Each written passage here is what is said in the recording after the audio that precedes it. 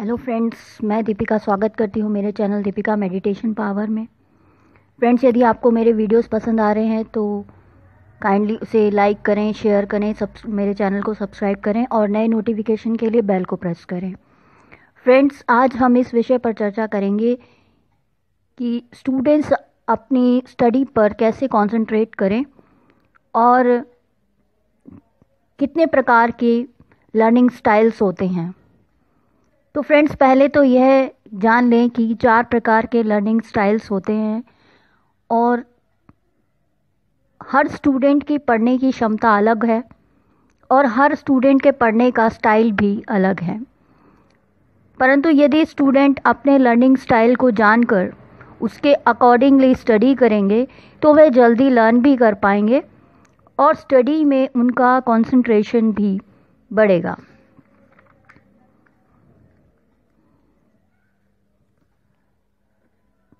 Concentration के लिए, अध्ययन पर ध्यान केंद्रित करने के लिए फोकस करने के लिए, क्या आपको अपनी पढ़ाई पर ध्यान केंद्रित करने के लिए फोकस करने के लिए प्रॉब्लम हो रही है? तो चिंता ना करें, क्योंकि यह केवल एक डर होता है। आप अपने स्टडी पर ध्यान केंद्रित करने के लिए फोकस करने के लिए बस आपको अपने लर्निंग स्टाइल को जानने की ज़रूरत है और टाइम मैनेजमेंट की ज़रूरत है। तो आइए फ्रेंड्स हम पहले यह जानते हैं कि यह चार तरह के जो लर्निंग स्टाइल्स हैं, ये है क्या? पहला लर्निंग स्टाइल जो है, वह है visual learners visual learners visual learners वह होते हैं जो याद करते हैं कि वह क्या पढ़ते हैं। विजुअल लर्नर के लिए ब्लैक बोर्ड ग्राफ चार्ट वह सभी से सीख सकता है। विजुअल लर्नर प्रिंटेड टेक्स्ट से लर्न करने से पहले आइकॉनिक और पिक्टोरियल इंफॉर्मेशन पर ज़्यादा ध्यान देते हैं। इनकी लर्निंग जो स्ट्रेंथ होती है, वह होता है visual learners always remember what they read and write they enjoy visual projects and presentations and can remember diagram, chart, map, etc. Visual learner understand information best when they see it. Friends uh, uh, इनकी strategies जो होती हैं visual learner की वह उन चीज़ों को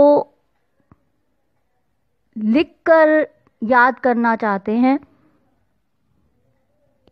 और उन्हें लिखकर ही याद करना चाहिए, जिससे कि उन्हें वह चीज़ अच्छी तरह से याद हो जाए।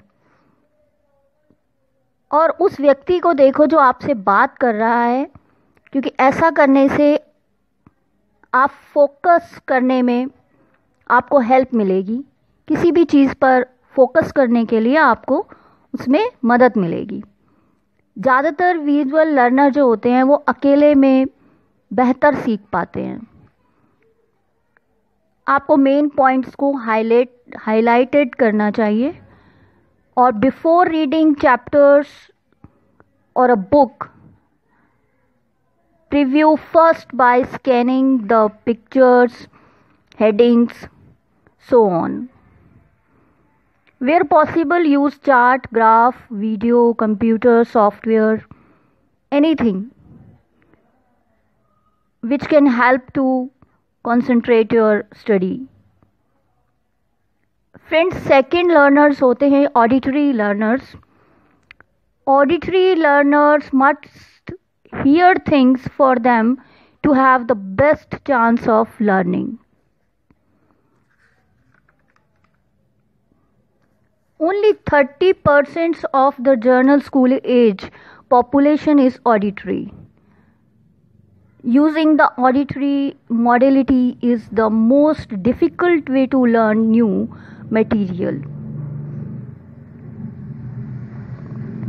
Friends auditory learners को ऑडियो से सुनकर या जो टीचर बोल रहे हैं उनसे सुनकर वह जल्दी लर्न कर पाते हैं सीख पाते हैं इनकी स्ट्रेंथ होती है remembers what they hear and say enjoy classroom small groups discussions understand information as best when they hear it friends इनकी स्ट्रेटजीज होती हैं कि study with a friend so you can talk about information and hear it make your own tapes of important points. Recite out loud informations, read out loud. When possible, you need to hear the words as you read them to understand. Read. Third जो learners होते हैं वह होते हैं read write learners here are few learners are read write learners